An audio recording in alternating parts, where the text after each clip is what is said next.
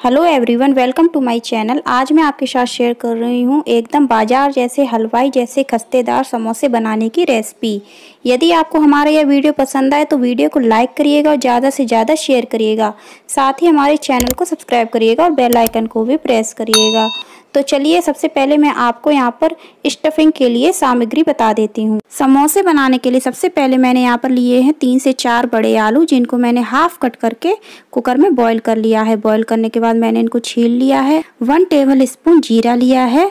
अब मैंने यहाँ पर ताज़ा हरा धनिया लिया है, जिसको मैंने बारीक चॉप कर लिया है। इसके बाद मैंने यहाँ पर वन टेबल स्पून सूखा धनिया पाउडर लिया है। अब मैंने यहाँ पर आधा इंच अदरक का टुकड़ा लिया है, जिसको मैंने कद्दू कस से बारीक बारीक क्रश कर लिया है। इसके बाद मैंने यहाँ पर एक चम्मच धनिया के बीज लिए हैं, जिनको मैंने कूट करके आधा आधा कर लिया है मतलब कि क्रश कर लिया है हल्का सा दरदरा कर लिया है।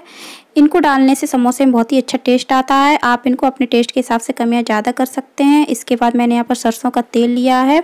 सरसों के तेल की जगह आप कोई भी तेल यूज़ कर सकते हैं मसाला बनाने के लिए। इसके बाद मैंने यहाँ पर तीन से चार हरी मिर्च ली है, जिनको मैंने बारीक चॉप कर लिया है। यहाँ मैंने हाफ़ टी स्पून गर्म मसाला लिया है। इसके बाद मैंने यहाँ पर वन टेबल स्पून आमचूर पाउडर लिया है।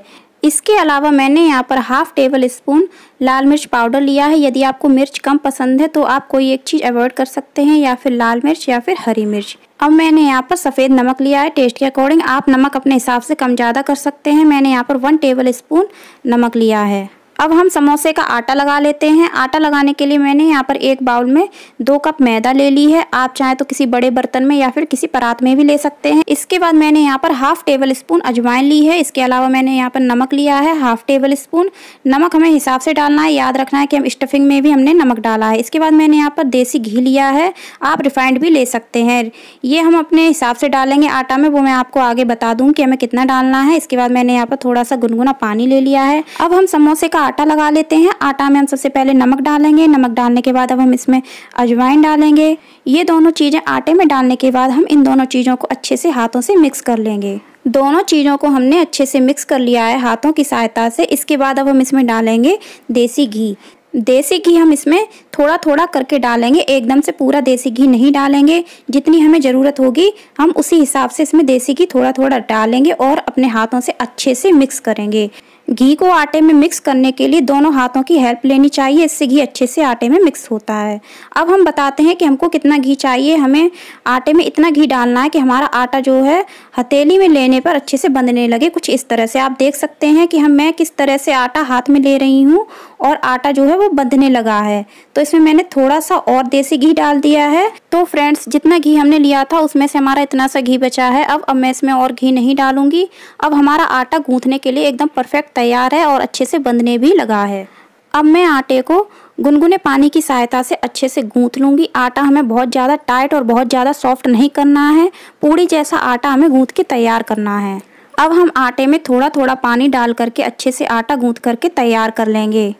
आटा मैंने यहाँ पर गूंथ करके तैयार कर लिया है। इसके बाद मैं इस आटे को दो से तीन मिनट अभी और गूंथूँगी। उसके बाद मैं इसको पंद्रह से बीस मिनट रेस्ट करने के लिए ढक करके छोड़ दूँगी।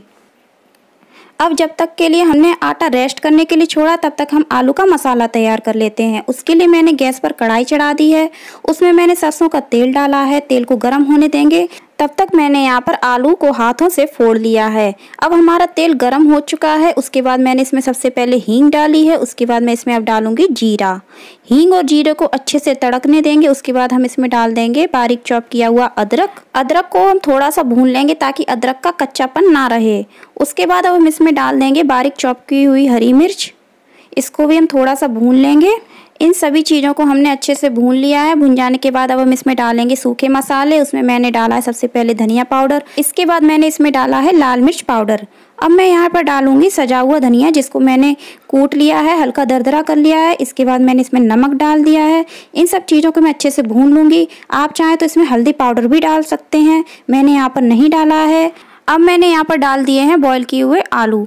अब इन आलूओं को हम अच्छे से मसाले मिक्स कर लेंगे और इनको हम मीडियम फ्लेम पर अच्छे से भूनेंगे। इनको हम मीडियम फ्लेम पर चलाते हुए भूनेंगे और जो भी हमें आलू के बड़े पीसेस लगते हैं, उनको हम फोड़ते रहेंगे कुछ इस तरह से जैसे मैं फोड़ रही हूँ। इनको हम कम से कम पाँच से छह मिनट मीडियम फ्लेम पर भूनेंगे और हमारा मसाला लगभग बन तैयार है। इसके बाद लास्ट में हम इसमें ऐड कर देंगे आमचूर पाउडर अब आमचूर पाउडर को हम अच्छे से आलूओं में मिक्स कर लेंगे। मिक्स करने के बाद हम गैस की फ्लेम को ऑफ़ कर देंगे। और सबसे लास्ट में हम इसमें ऐड कर देंगे बारीक चॉप किया हुआ धनिया। इसके बाद हम धनिया को आलू में मिक्स कर लेंगे और आलू को हम ठंडा होने के लिए छोड़ देंगे। इस तरह से हमारे समोसे के आलू का मसाला बन करके तैयार हो गया है। अब हम चलते हैं समोसे बनाने के लिए। समोसे बनाने के लिए हमारा आटा बढ़िया तरीके से तैयार हो गया है। अब हम इस आटे को दो से तीन मिनट और अच्छे से गूँथ लेंगे ताकि हमारा आटा अच्छे से चिकना हो जाए। हमने इस आटे को अच्छी तरीके से मसल मसल के तैयार कर लिया है।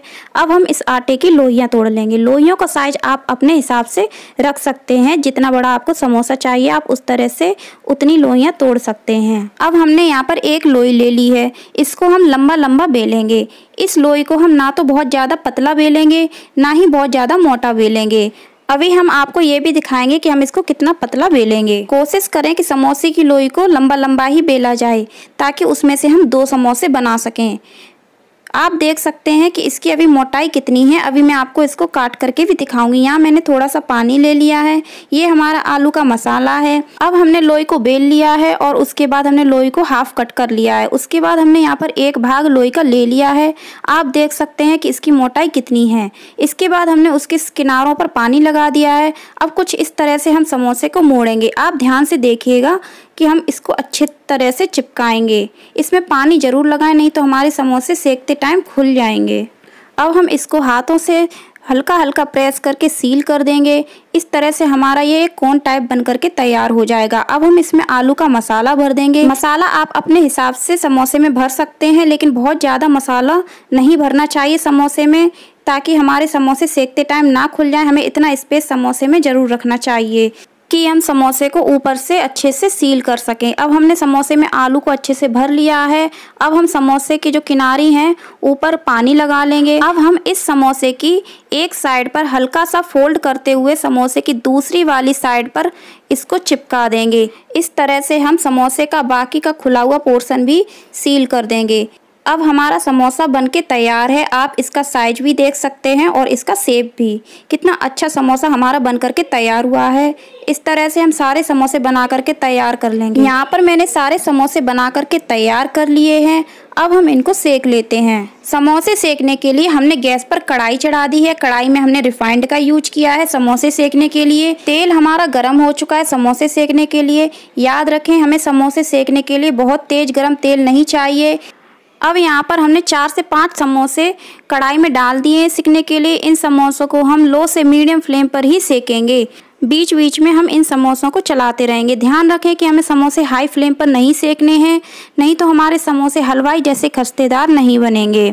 हमारे समोसे का कलर हल्का हल्का ब्राउन होने लगा है। ध्यान रखें कि हमें समोसे सेकते टाइम थोड़ा सा पेशेंस रखना होता है। जल्दबाजी नहीं करनी होती है। नहीं तो हमारे समोसे स्वादिष्ट नहीं बनते हैं और अंदर से क्रिस्पी नहीं बनते हैं। इस तरह से समोसे सिकने में थोड़ा टाइम ज़्यादा तो लगता ही है, तभी हमारे समोसे स्वादिष्ट बनेंगे। एक बैच सिकने में लगभग पंद्रह से बीस मिनट आराम से लग जाते हैं। हमारे समोसे का कलर ब्राउन होने लगा है और हमारे समोसे भी लगभग सिकने ही वाले हैं। अभी हम इनको दो से तीन मिनट और सेकेंगे। समोसे हमारे सिक चुके हैं। आप देख सकते हैं कितना अच्छा कलर आया है।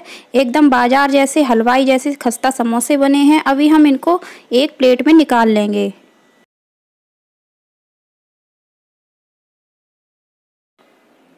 तो फ्रेंड्स देखिए, हमने यहाँ पर सारे समोसे सेक करके तैयार कर लिए हैं और कुछ इस तरह से हमने समोसे की प्लेट लगा ली है। लग रहे हैं ना, एकदम बाज़ार जैसे खस्तादार समोसे। तो फ्रेंड्स यहाँ पर मैं आपको यह समोसा तोड़ करके भी दिखाती हूँ। देखिएगा, हमारे समोसे कितने खस्तेदार और कितने अच्छे टेस्टी बने हैं। आपको हमारी ये रेसिपी कैसी लगी, मुझे कमेंट करके ज़रूर बताइएगा। वीडियो पसंद आई हो तो लाइक करिएगा और ज़्यादा से ज़्यादा अपने फैमिली फ्रेंड्स और रिश्तेदारों में शेयर करिएगा। साथ ही हमारे चैनल को सब्सक्राइब करिएगा और बेल आइकन को भी प्रेस करिएगा।